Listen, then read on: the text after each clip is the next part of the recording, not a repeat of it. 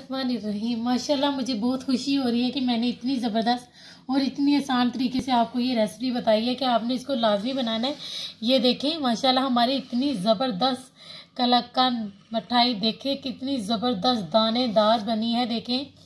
माशाल्लाह बहुत प्यारी, बहुत अच्छी हमारी तैयार हुई है। आपने इसको लाजमी बनाना है। चलें, अब हम अपनी रेसिपी शुरू करते हैं।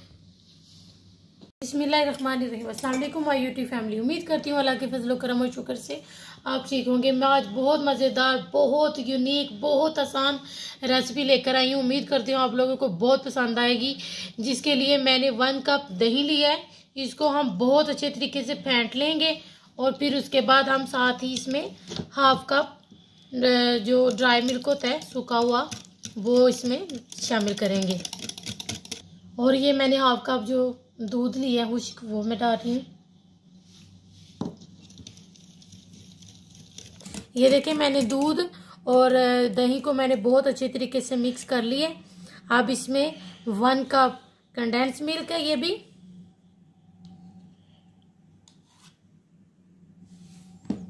और हाफ़ कप ये भी कंडेंस मिल्क है। वन और हाफ़ कप जाएगा कंडेंस मिल्क अब इन सब चीज़ों को हमने बहुत अच्छे तरीके से मिक्स कर लिया मैं इसमें दो तीन जो है ना, ऐसे ड्रॉप डालने लगी हूँ आलमंड के। आलमंड एसेंट आप इसमें इलायची पाउडर भी शामिल कर सकते हैं।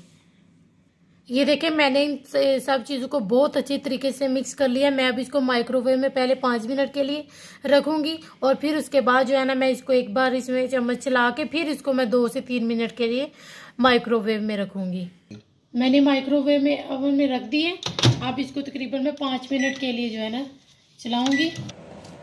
ये देखिए, मैंने इसको अच्छे तरीके से बटर लगा लिया इसके नीचे। मैं इस पैन में इसको बाद में डालूँगी। तो इसको हम अच्छे तरीके से नीचे से ग्रीस कर लेंगे। और अब इसके ऊपर इसके नीचे बेस में हम अच्छे तरीके से इस तरह कोई भी डिज़ाइनिंग कर सकते हैं। किसी तरह भी इसको जो है ना शेप दे सकते हैं, वो हमारी अपनी चॉइस है। ये देखें आप इस टाइम पर हम इसको बाहर निकालेंगे और इसमें अच्छे तरीके से इसमें चमचा चला लेंगे। ये देखें कि ये कुछ इस तरह से हो गया। मैं इसको फिर अभी दो से तीन मिनट दोबारा माइक्रोवेव में रखूँगी। ये देखें मैं अभी बाहर निकाल के लाई हूँ। तीन मिनट के बाद अब इसको मैं इसमें कर, ये हो गया। माशाल्लाह बहुत ज़बरदस्त हो गई है।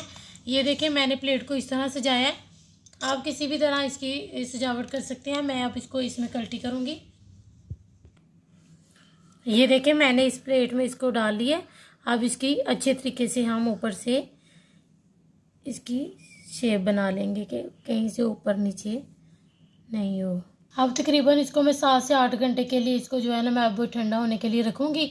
तो फिर उसकी, इसकी असली लुक आपको फिर बाद में दिखाते हैं, इंशाल्लाह। ये देखें, हमारी माशाल्लाह बहुत आसान कोई ज़्यादा टाइम नहीं लगा, तकरीबन पाँच मिनट में ये हमारी देखें, ज़बरदस्त कलाकंद मिठाई तैयार हो गई है। देखिए, माशाल्लाह, बहुत मज़ेदार बनी है। आपने इसको लाजमी बनाना है, ये बहुत आसान है। तो आपने इसको बनाना है और इसका फीडबैक हमें लाजमी देना है। अब हम आपसे मिलेंगे इनशाला इससे बेहतर, इससे अच्छी नेक्स्ट वीडियो में, इंशाल्लाह।